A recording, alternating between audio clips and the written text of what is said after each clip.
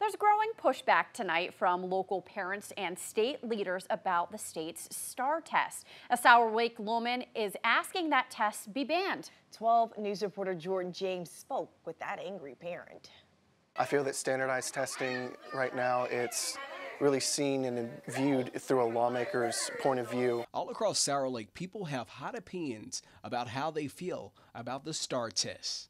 Not everyone is standardized, you know, not every test kind of works out the same way.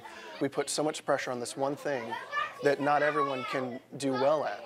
For Tara Mitchell, she's unsure about how to feel about this issue. Kind of on the fence, kind of in the middle uh, about it. Um, when used properly, I think it can be a very useful tool. That way you can you know, kind of gauge where students are at. While most of Jonah Murphy days are spent stacking books, he says he'll never forget the feeling of having to take a standardized test. Having to sit there in that room and just stare, you know, at this one packet with all this pressure of my whole, you know, educational career right there in front of me. Emily Linscomb is a parent and is going one step further, asking the mayor to sign a proclamation saying that the STAAR test should be banned inside of Sour Lake city limits.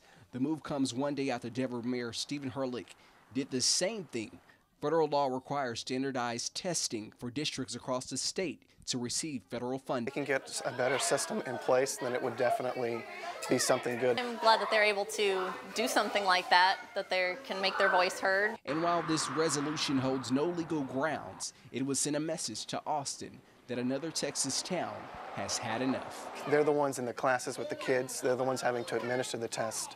They're the ones we should be listening to. In Sour Lake, Jordan James, 12 News. The Sour Lake mayor tells 12 News there's a possibility that he could put the STAAR test on the agenda next week. Now, if that happens, the council will ask the public their opinion on this matter.